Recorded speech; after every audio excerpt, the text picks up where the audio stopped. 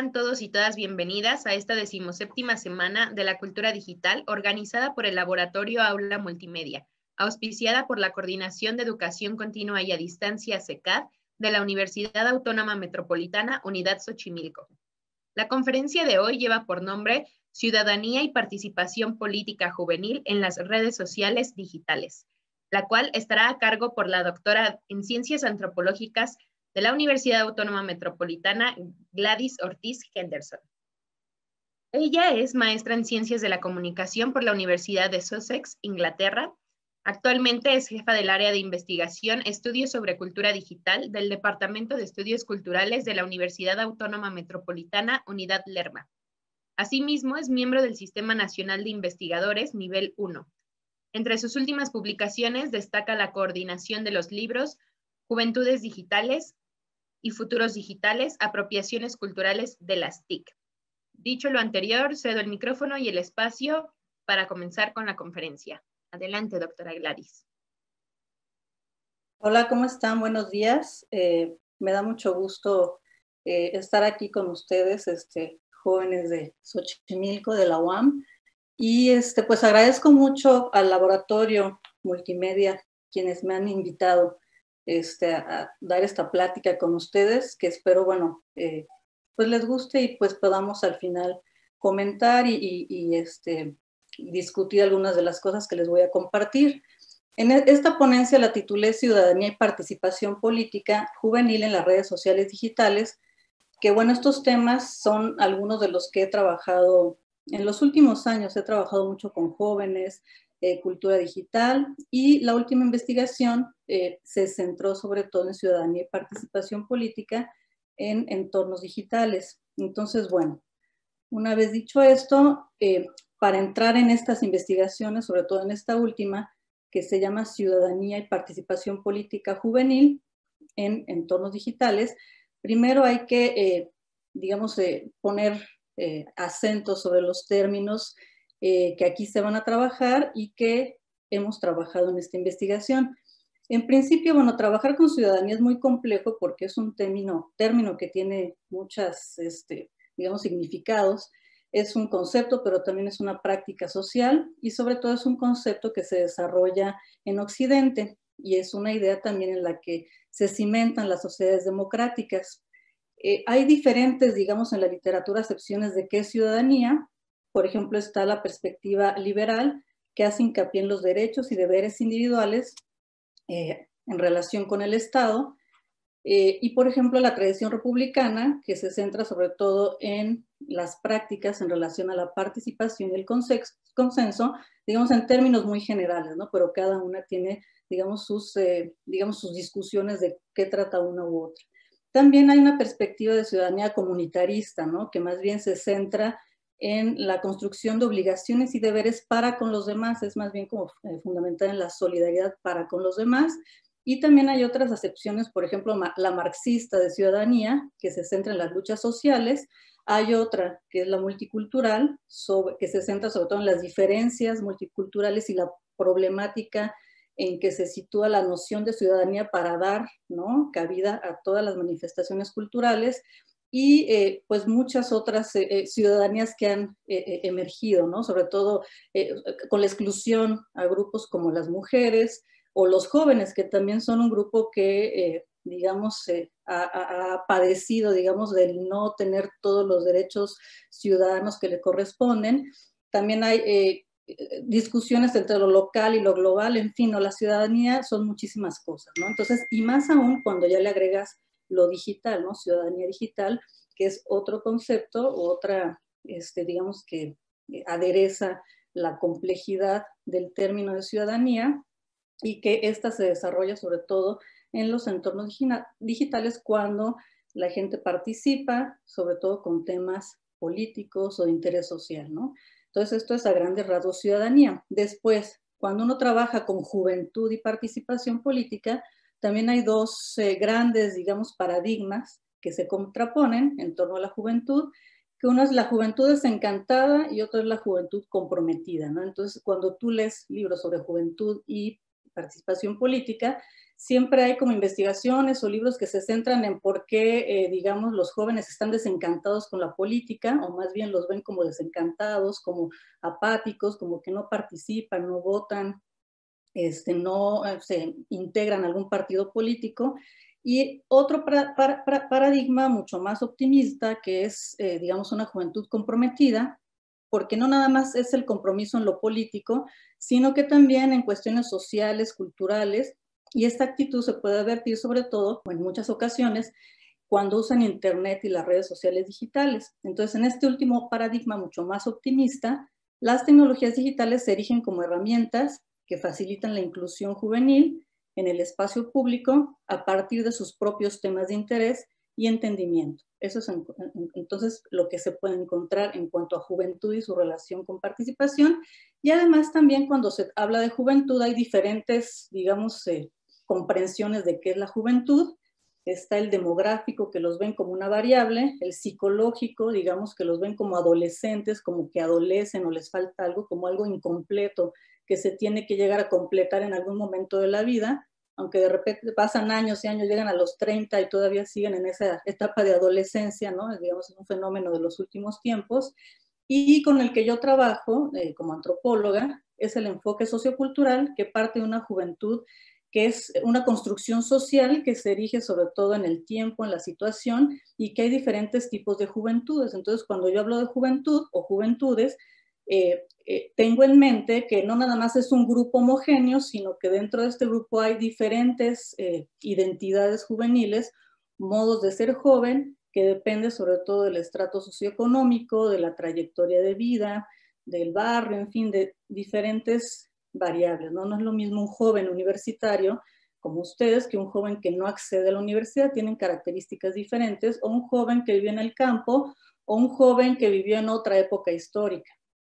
Entonces, bueno, esto es el segundo término. Y finalmente, cuando hablamos de tecnologías digitales, pues también es otro término complejo porque lo digital, pues ya todo es digital y la televisión digital y digital esto, lo otro. Entonces, eh, acá cuando hablamos, eh, quienes trabajamos esto con tecnologías digitales o TIC, ¿no? tecnologías de la información y comunicación, sobre todo eh, nos referimos a esta parte técnica, que son datos que se encuentran, digamos, en forma discreta, valores limitados, con unos y ceros, esta parte, digamos, del componente digital, que cambió, digamos, en un tiempo de lo analógico a lo digital y surgieron todo este tipo de medios, ¿no? Pero sobre todo nos referimos a las tecnologías digitales, no, la televisión u otros, sino más bien a las nuevas tecnologías, que ya no son tan nuevas, como eh, Internet y todo lo que lleva dentro, como redes sociales digitales o páginas web y todo esto, ¿no? Pero es toda una discusión hoy en día de qué es lo digital, ¿no? Porque, digamos, es, un término complejo. Entonces, como pueden ver, cuando uno va repasando, digamos, al hacer una investigación, los términos que va a utilizar, pues cada uno tiene eh, diferentes discusiones y entonces uno va centrando en qué es lo que uno quiere decir cuando está haciendo esa investigación. Y bueno, las redes sociales, como ustedes saben, surgen sobre todo por allá en 2006 con MySpace, Hi5, YouTube, en fin, y ahora se han convertido en parte importante de, digamos, del espacio digital, ¿no? Pareciera que es lo único que hay, aunque no es lo único, pero es lo que más usa la gente. Incluso estaba revisando datos este, precisamente ayer y 80% de las personas en México que se conectan a Internet es para usar redes sociales digitales.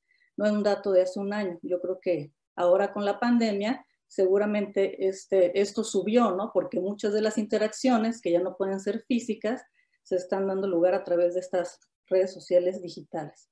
Entonces, bueno, yo revisé, les voy a presentar una revisión de estudios que hice en, en estos años en diferentes bases de datos sobre los temas más importantes y hasta dónde se ha llegado en esto de la relación jóvenes, participación política, ciudadanía.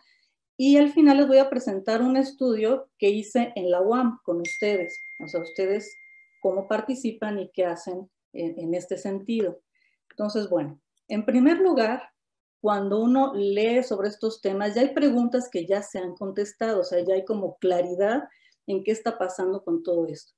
Por ejemplo, hay muchas investigaciones que se centran en las investigaciones en línea y fuera de línea, es decir, hay como un deseo de que si se, la gente participa mucho en Internet o en las redes sociales, estas también eso se va a reflejar fuera de Internet y entonces la gente va a participar también fuera de esto. ¿Qué quiero decir? Por ejemplo, si se acercan elecciones y hay toda una discusión en redes sociales sobre quién es ¿no? el candidato, quién no es y tal, se creería que entonces todas esas personas que están tan eh, interesadas en participar en, ese debate van a salir a votar o van a salir a hacer algo, ¿no? O sea, va, a haber una como contraposición de lo que hacen en línea o no.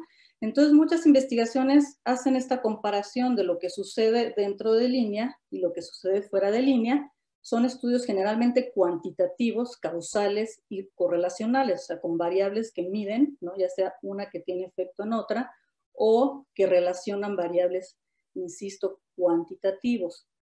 Estos se centran en el voto, es decir, si la gente eh, participa en una próxima contienda electoral en línea, va a ir a votar o no, o en cuestiones, digamos, de más sociales, de problemáticas sociales, eh, digamos, si participan en línea, si van a salir a marchar o no, o si van a hacer algo más allá en línea. O sea, tanto con el voto como con cosas de participación ciudadana que no tienen que ver con el voto. Estas son como las dos líneas. Bueno, pues, ¿qué, qué, ha pasado en eso? O sea, realmente cuando la gente está discutiendo en Internet tanto, sobre todo en los últimos tiempos, ¿no? Que vemos tanta discusión, tanta efervescencia sobre que si los fifis, los chairos, que esto, que el otro, hay demasiadas cosas ahí. O sea, esto se va a traducir en algo, ¿no? Este, más allá de estos debates en Twitter o en Facebook. O sea, si va a suceder algo o no. Pues ya hay investigaciones que han hecho esta comparación y entonces, eh, Aquí les voy a poner, perdón. ¿Qué es lo que ha pasado acá? Bueno, algunas investigaciones dicen que cuando sí tienes compromiso en línea, se va a traducir en el voto. O sea, si participas mucho en línea, sí vas a ir a votar porque eres una persona comprometida, digamos, políticamente. Sin embargo, hay otras investigaciones que dicen que esto no tiene ninguna relación. Leer y discutir contenido político en Internet eh, no tiene relación con ir a las urnas o ir a votar. Entonces hay una contradicción impresionante, no hay una respuesta contundente.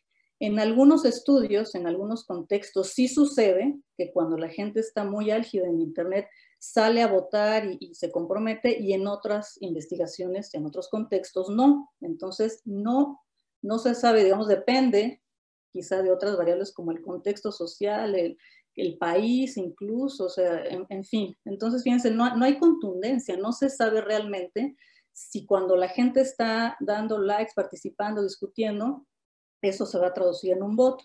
E incluso hay investigaciones que dicen que la participación inicia y termina en Internet, o sea, solamente son pocos los que se hacen algo más allá, es decir, hay muchos que opinan, no sé, que los perritos de la calle vamos a salvarlos y que los niños si están ahí, este, digamos, intensos en línea y cuando tienen que ir a hacer el trámite para denunciar o para marchar o para algo, no lo hacen.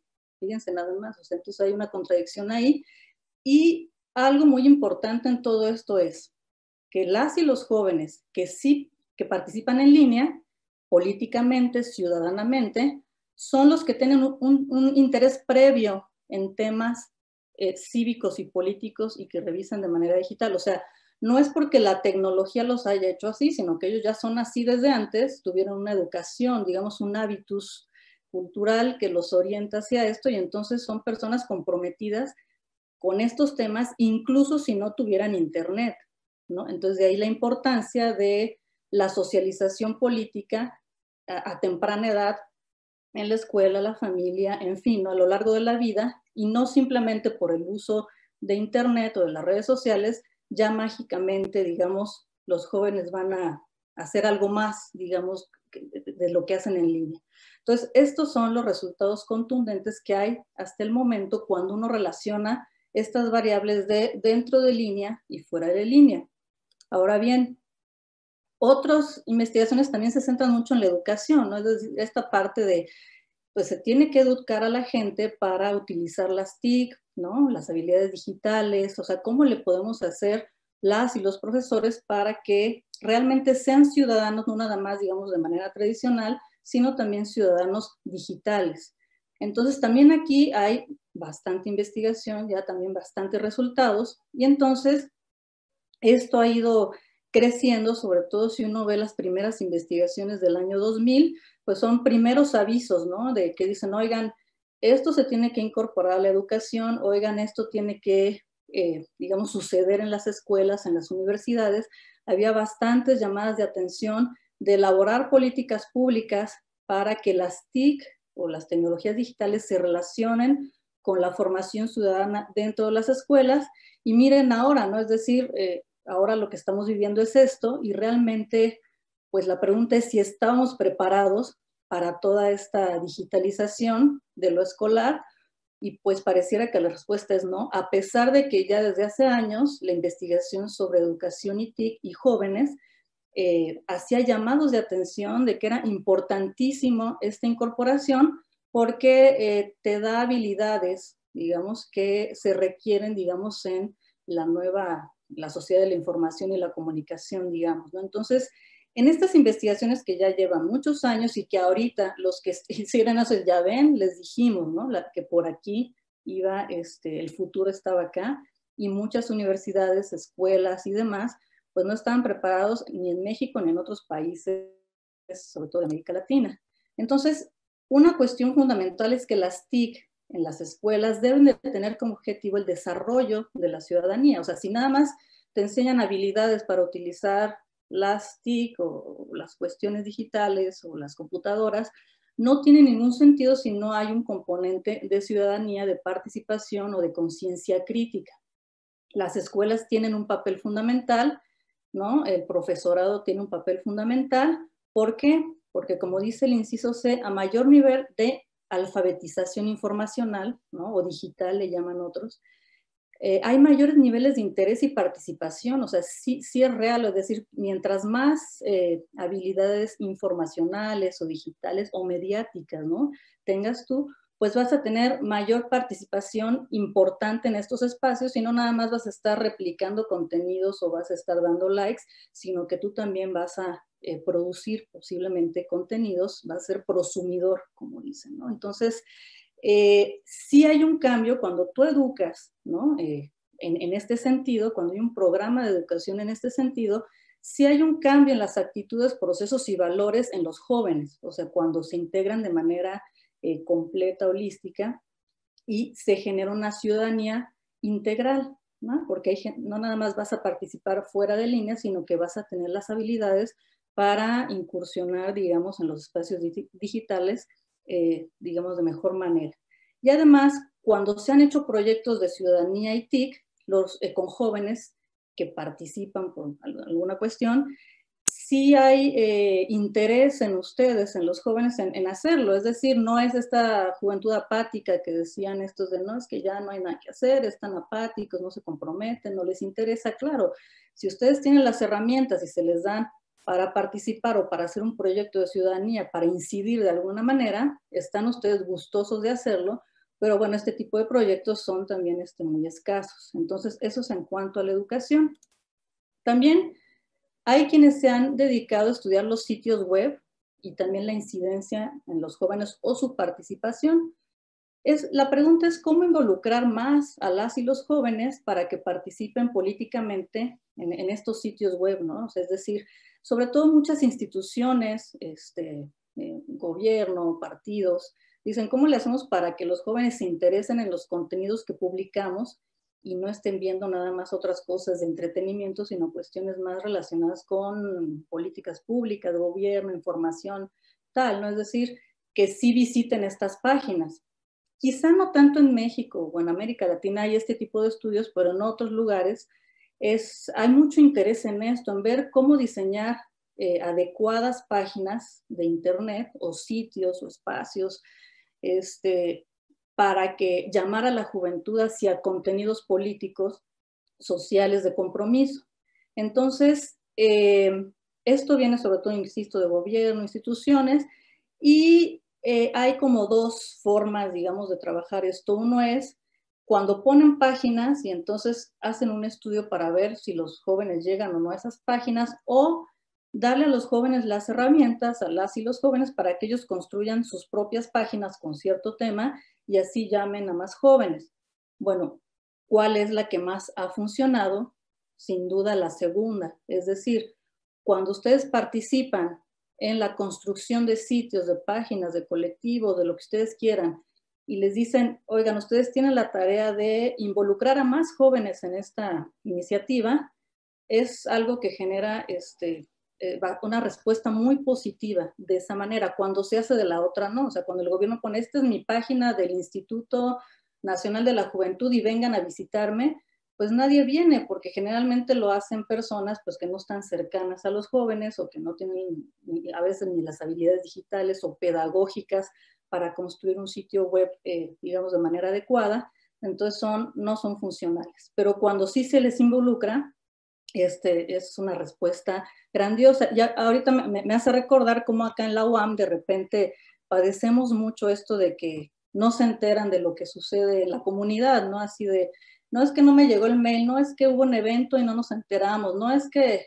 y de repente le dicen los profesores, profesoras o las autores, no, sí, les mandamos un mail, no, sí está en la página, sí, mira, está acá, o sea, sí está la información, pero de alguna manera hay una desconexión entre esta información institucional y lo que ustedes perciben de todo esto. Entonces, lo que dicen estas investigaciones es que ustedes tendrían que estar más involucrados, las y los jóvenes de la UAM en este caso, en la construcción de esos contenidos y de estos sitios web, ¿no? O, espacios eh, para promocionar entre ustedes mismos y que hubiera un mayor involucramiento en lo que las autoridades de la universidad desee, ¿no? Es decir, si quieren comunicar algo de la pandemia o si quieren comunicar algún festival, en fin, ¿no? Entonces habría ahí que discutir el por qué, por lo menos eh, el contacto que yo he tenido con estudiantes es este, es que no nos enteramos, oye, el reglamento, es que yo no conozco el reglamento, no es que, pues es que todo está ahí, pero ustedes no van a la página, no, pues es que cómo,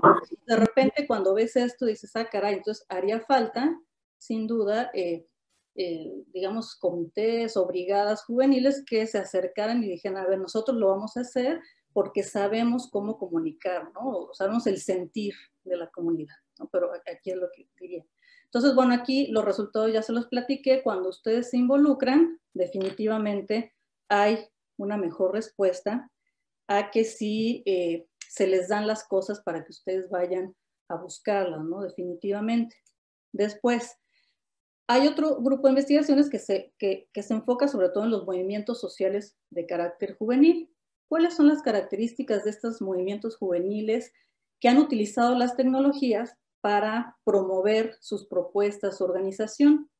Generalmente son estudios cualitativos con etnografía y muchos ocurrieron hace ya varios años eh, con toda esta explosión de movimientos sociales que hubo por allá en 2011, 2012, con este, los ocupas de Wall Street, los levantamientos de la primavera árabe, incluso aquí en México, el Yo Soy 132, los indignados en España, o sea, todo este boom de movimientos generó una serie de ensayos, publicaciones, libros que eh, em, emocionados, digamos, por fin veían una juventud este, digamos, muy comprometida, entusiasta y que estaba utilizando las redes sociales digitales para eh, visibilizar su causa.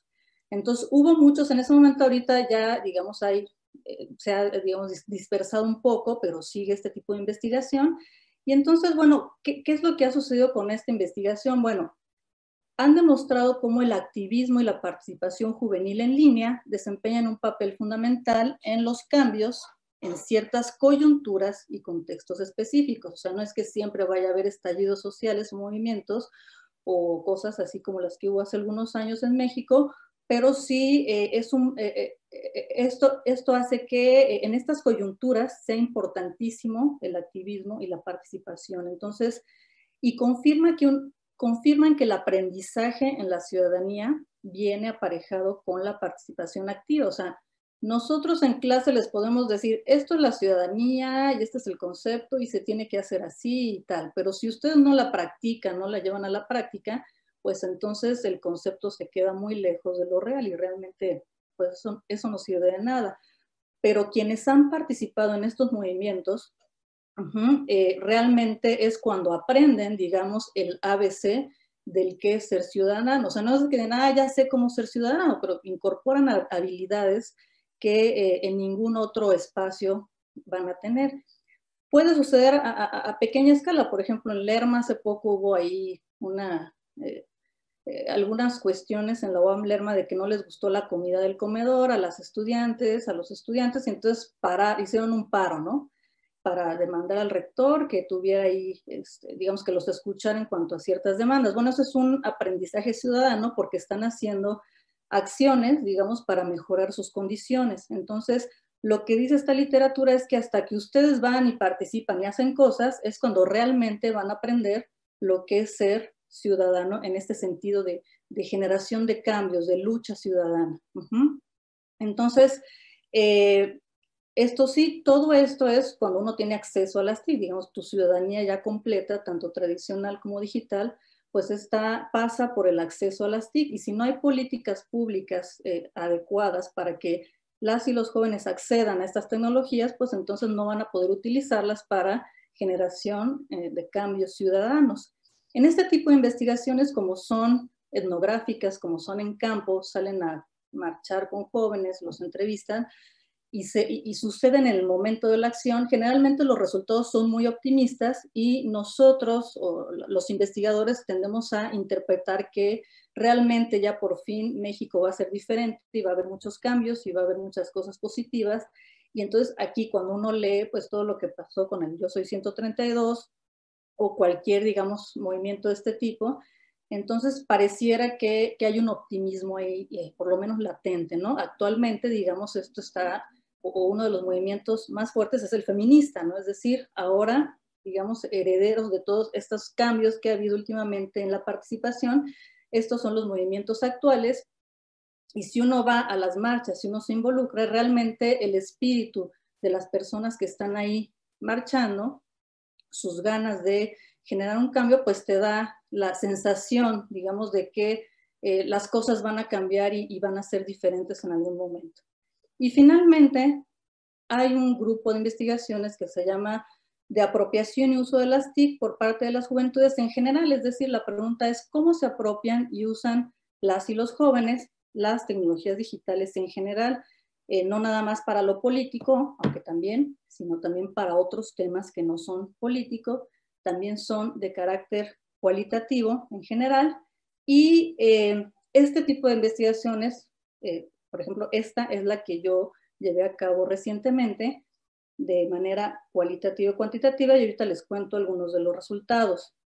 Acá los temas que se tratan son sobre todo las nuevas formas de participación juvenil con criterios y formas propias, es decir, los jóvenes o las jóvenes cómo participan según sus propios términos, no lo que dicen los libros, sino más bien ellos cómo definen su participación y si esta se puede calificar como política o no, o qué tipo de participación es.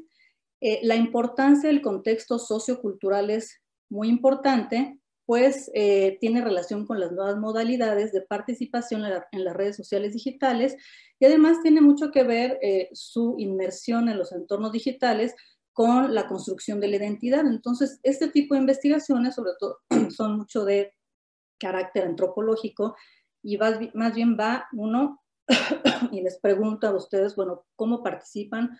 ¿Cómo se sienten eh, cuando participan y qué es lo que hacen más allá de lo que viene en la literatura, en los libros y todo eso? Entonces, fíjense muy bien, acá, eh, en esta investigación que hicimos, que se llama Ciudadanía y Participación Política Juvenil en Redes Sociales Digitales, la llevamos a cabo en el 2018 eh, en la Universidad de Sonora, en la UAM, y en la Veracruzana, en tres universidades de manera simultánea, en la parte cuantitativa y después hubo otra parte cualitativa.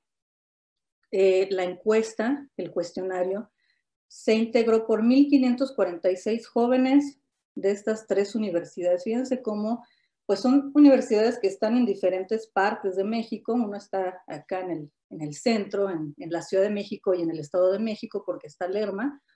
Eh, la veracruzana que está pues allá en, digamos, en, otra parte del país y luego la otra en el norte. Son muy diferentes los contextos, aunque son públicas las tres.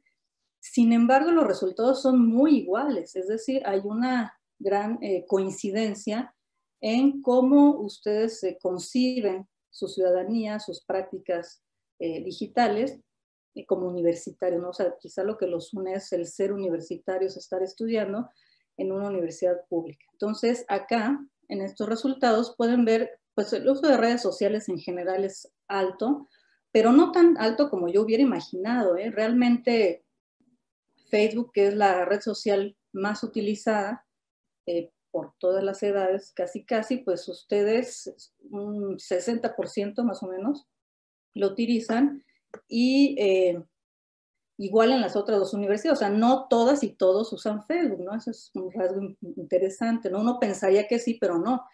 Y pues va, digamos, eh, para abajo eh, las siguientes actividades en redes sociales o WhatsApp, ¿no? Entonces vean ahí cómo hay coincidencia.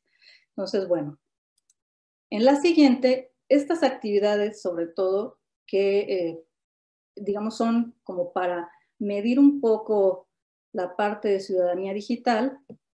Este, se les dejo aquí un momento a ver, a ver si ustedes lo pueden eh, revisar con más calma, pero subrayé eh, en amarillo los resultados que me parecen interesantes. ¿no? Por ejemplo, buscar o contrastar información de diversas fuentes antes de difundir.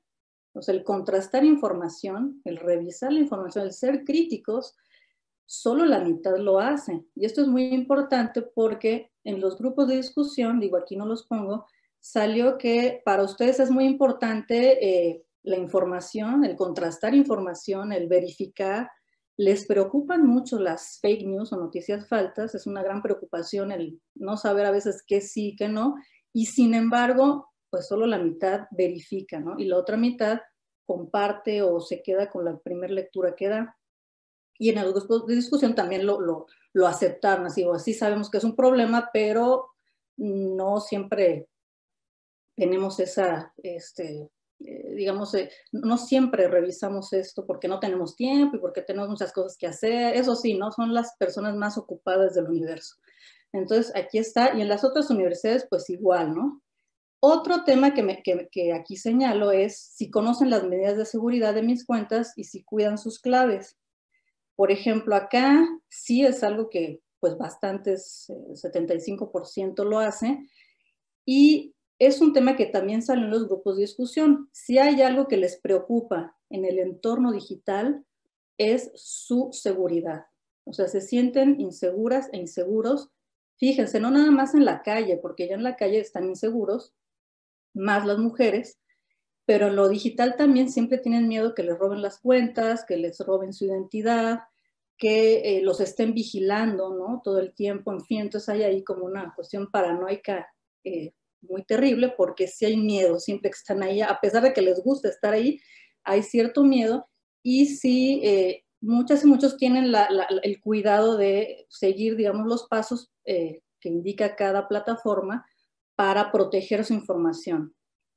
Otro tema es el rechazo a la información que promueve el maltrato a los seres vivos. Este es un tema que les encanta, el cómo protección de los animales, del medio ambiente, eh, de los perritos, los gatitos, es un tema que lo tienen muy en cuenta y es algo de lo que más comparten, de lo que más se preocupan y eh, rechazan cualquier tipo, quizá otro tipo de temas no, pero en esas son muy eh, contundentes en, decir no al, maltrato animal, ¿no? Entonces, eso está muy alto en las tres universidades. O sea, podríamos decir que los universitarios mexicanos se preocupan por todo esto y eso es muy positivo.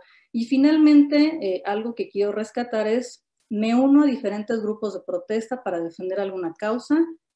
Pues no, una 19%, casi 20%, muy bajo, ¿no? Es decir, el, eh, sentirse o el involucrarse en cuestiones que requieran de una protesta firme, ¿no? Para cualquier causa este, política, social, estudiantil, pues realmente no es algo que, por lo menos aquí salió que, no lo hacen y eso sí, dentro del, desde la perspectiva de participación ciudadanía, pues sí es preocupante, ¿no? Decir, bueno, ¿por qué no, no están en esto? Pero bueno.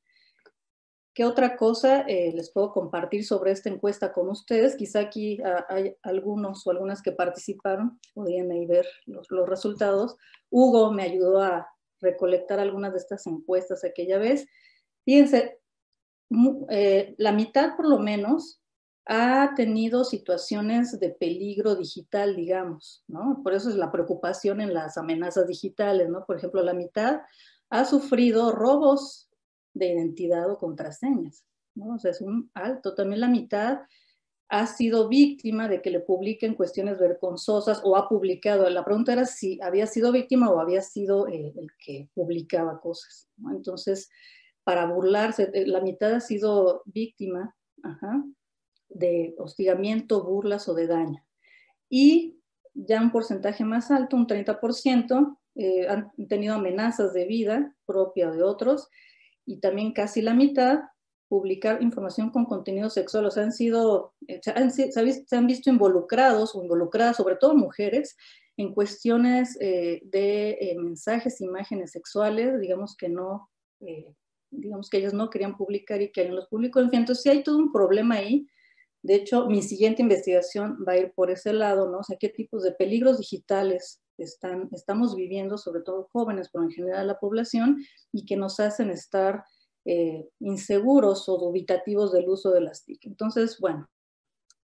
Em, y bueno, finalmente la última tabla es que si ustedes, bueno, fíjense cómo muchos se han involucrado en situaciones eh, peligrosas, pero no las denuncian, ¿no? Aquí en la UAM, pues no denuncian este, eh, ni presencial ni digital cuando han tenido algún problema. Y esto no nada más se vio aquí, ahorita otra tabla que no les compartí de este estudio, eh, viene que también en, lo escolar, digamos, han sufrido también situaciones, este, digamos, no, no, no, no adecuadas, pero luego no van y denuncian con las autoridades escolares qué es lo que les está pasando. Entonces ahí ni siquiera saben con quién, ¿no? Es decir, oye, ¿con quién? No, pues no, ni conozco al coordinador, ¿cómo? Entonces, esto no nada más se da aquí en las cuestiones digitales, sino lo presencial en su vida como estudiantes. También salió esto de cómo habían estado en situaciones, pues no sé, de, alguna situación con algún profesor, de acoso, de una calificación poco justa, en, fin, muchas cosas. Y cuando se les preguntaba si denunciaban, no, y, y no, porque o les daba miedo o flojera o no sabían con quién, no conocían el reglamento. Y bueno, también esto es preocupante y es parte del ejercicio ciudadano que no, no se está llevando a cabo. Entonces, bueno, en estas investigaciones en general de la apropiación, eh, aquí rápidamente les digo, la tecnología es un reflejo de la sociedad que tenemos, sin duda.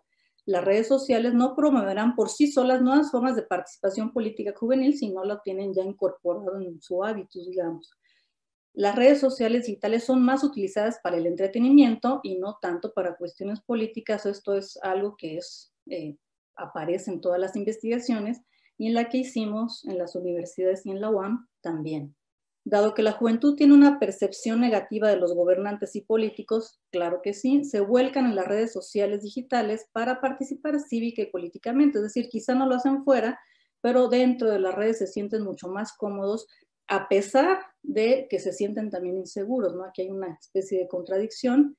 Y las prácticas políticas en línea no suplantan y más bien complementan las formas de participación cívica y política tradicionales. En conclusión, aquí hay cinco temas, pero bueno, hay mucho que discutir y que concluir. Número uno, las tecnologías digitales no tienen una influencia directa en la participación o prácticas políticas de la juventud fuera de línea o por lo menos no hay resultados contundentes. Número dos, las TIC se erigen como herramientas clave para la juventud y sus formas de participación política. Eso sí es, son claves, a pesar de que estos, eh, digamos, datos que a lo mejor no son tan optimistas, pero siguen siendo clave. Número tres, el uso de las TIC o de las tecnologías digitales puede coadyuvar en la formación ciudadana o alfabetización digital. Número cuatro, la juventud comprometida y entusiasta es, es así en ciertas circunstancias y momentos coyunturales específicos, pero no siempre. O sea, tiene que haber ahí una serie de variables para que haya un estallido, un movimiento, una queja masiva, pero, digamos, permanece latente mientras tanto. Y la inclusión de jóvenes en la elaboración de sitios web o de cuestiones de páginas tiene mejores resultados en su impacto cuando ustedes participan en ellos.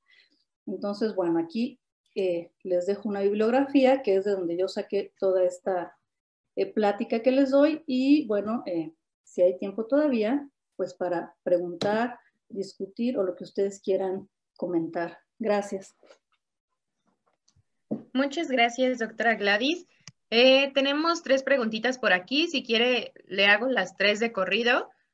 Eh, la primera es, ¿qué deberíamos hacer entonces para generar una conciencia digital y que ésta se vuelva participativa y no solo se quede en la pantalla? La segunda es, ¿cree que la participación ciudadana en las redes logre cambios en la sociedad?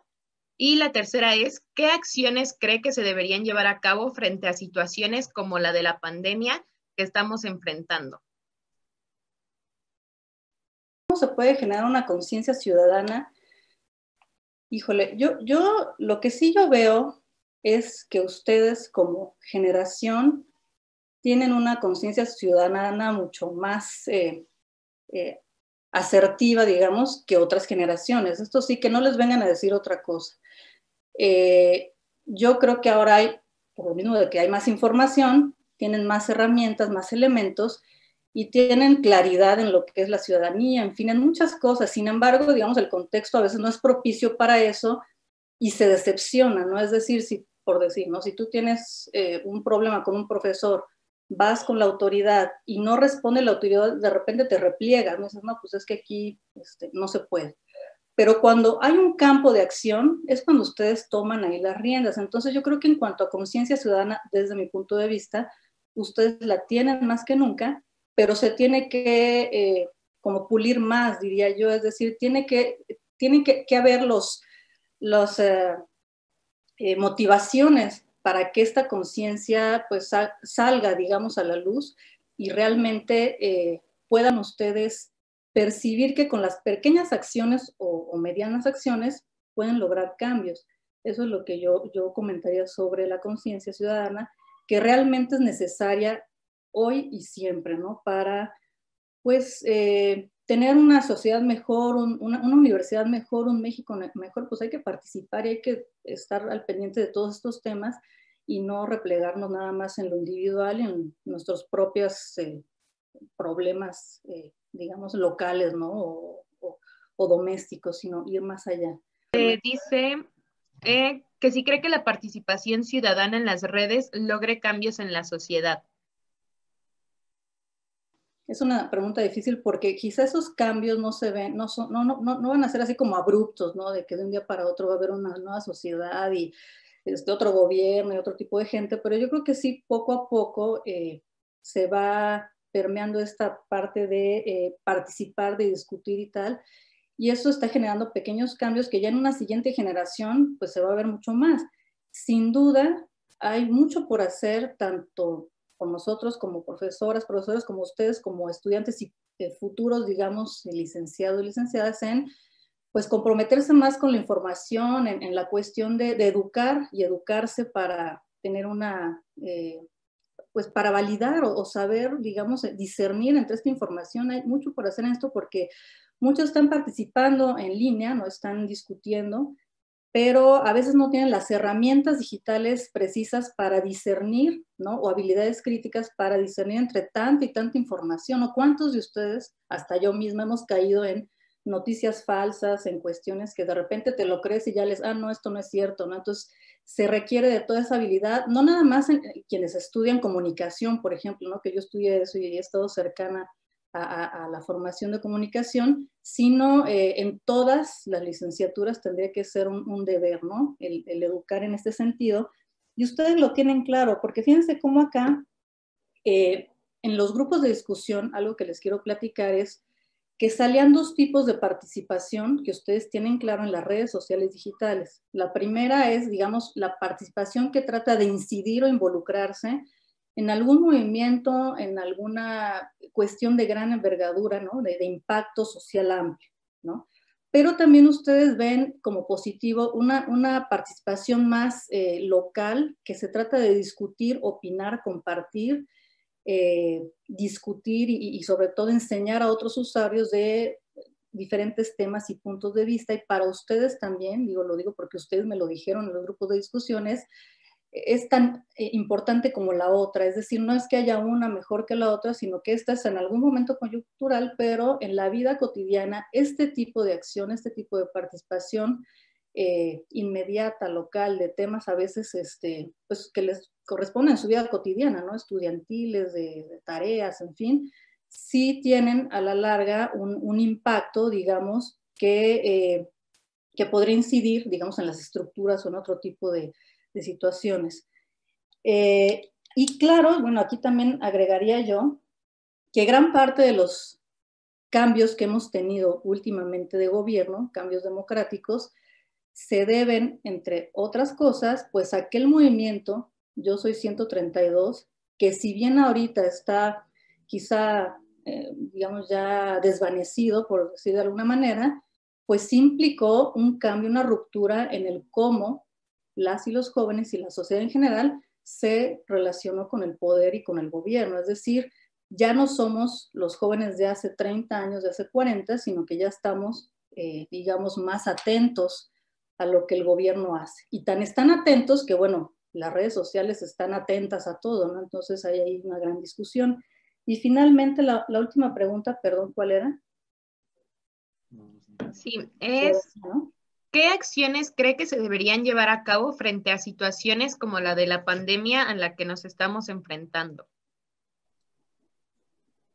Híjole, pues acciones en cuanto a qué, porque yo creo que por lo menos en la UAM o esa ha sido la experiencia que yo he tenido, pero ustedes también deberían de dar su punto de vista. El programa este emergente que, que salió, creo que es una acción positiva porque, bueno, no, no separaron las clases, sino se trató de eh, migrar, digamos, hacia lo digital, con todos los trabajos que esto implicó, tanto para ustedes como para los, las y los profesores, pero creo que fue una de las acciones positivas tanto de la OMS y otras instituciones, ¿no? Que, ah, que, ahí, o sea, que no querían, ¿no? Ya, ya, llevamos tiempo muchos empujando esto de lo digital y este, parecía que topábamos con pared y esto obligó a que ya fuera así.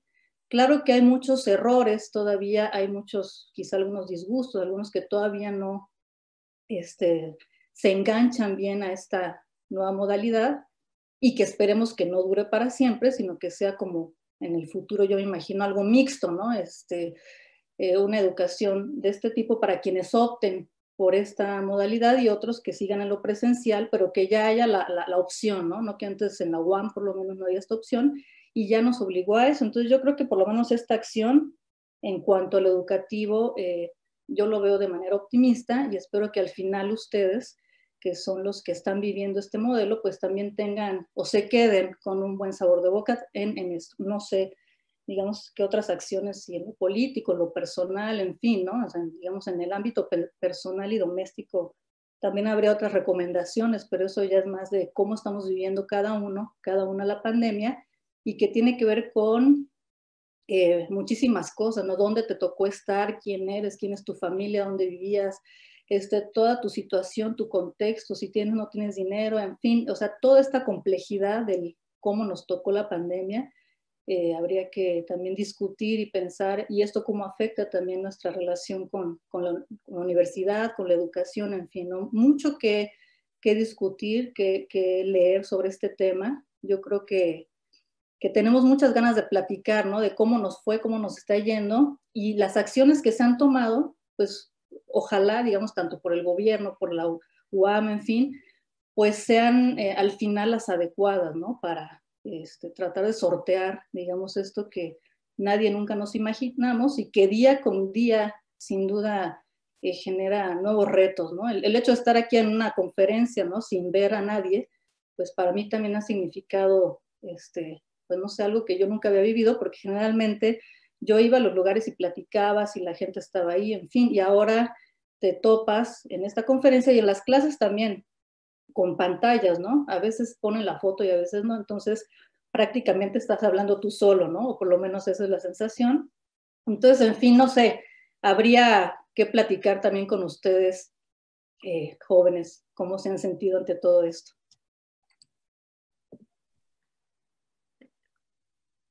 No sé si haya una última pregunta porque...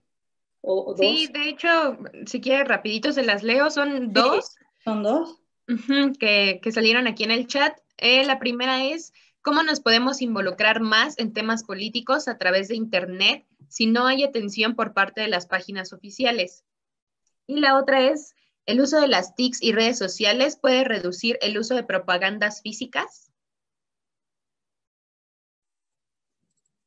¿Cómo me puedo involucrar más? Bueno, lo que está sucediendo es que precisamente por esta eh, cuestión, cuando se quieren ustedes conectar con la autoridad, con el gobierno, incluso autoridades educativas, de repente se topan con pared y, y por lo menos sienten que no se les escucha. Entonces, de ahí que surgen los colectivos o las colectivas, ¿no? Entonces, como son las feministas, y organizan su propio grupo para tener algún tipo de incidencia en las distintas estructuras. Yo creo que esa es una vía que se está llevando a cabo tanto dentro de la UAM, ¿no? Con los grupos diferentes que existen, pero también fuera. Entonces, yo creo que es una eh, idea eh, y, ya está sucediendo. Es decir, si les interesa un tema, si les interesa el medio ambiente, los perros, los gatos, la contaminación, la pandemia, cualquier tema que sea colectivo y social,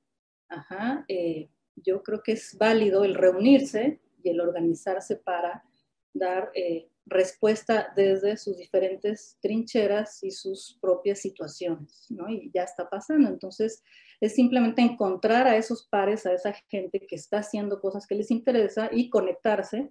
Y esta conexión, pues, se puede hacer a través de redes sociales, ¿no? Digitales. Es lo que, por lo menos con lo, lo que he trabajado con algunos de estos grupos es esto, ¿no? Se conectan en red y entonces empiezan a trabajar cosas eh, y se comprometen con ese tema. No tanto desde el gobierno, es decir, sabemos que de repente ni siquiera sirven los correos electrónicos, mandas una petición al, este, al alcalde o presidente municipal y luego se te regresa que porque no existe, ¿no? O al SAT o qué sé yo, ¿no? Este, ¿A dónde mandé yo? Ah, a, la, e, a la Comisión de Luz, porque tuve un gasto ahí raro de, de, luz, entonces mandé y no sirve el mail, entonces digo, ¿cómo me puedo comunicar con la autoridad si no sirve su correo, ¿no? Digo, cosas así. Y eh, si las TIC pueden reducir la propaganda, pues sí, ¿no? Ya, ya es algo que están haciendo desde hace mucho la, gente que se dedica a la política en las campañas. Y qué bueno, ¿no? Porque realmente el papelerío que sacaban a las calles o que a veces siguen sacando contamina mucho. Entonces, eh, yo creo que sí están migrando, pero como todavía mucha gente pues no tiene acceso a las TIC, sino realmente somos pocos, ¿no? Todavía el acceso o la falta de acceso, la brecha digital en México es muy grande, pues todavía tienen que utilizar otro tipo de medios para llegar a la demás gente, pero sí, sin duda, conforme se va migrando a lo digital y la gente se conecta más, la propaganda también tiende a migrar hacia estos espacios.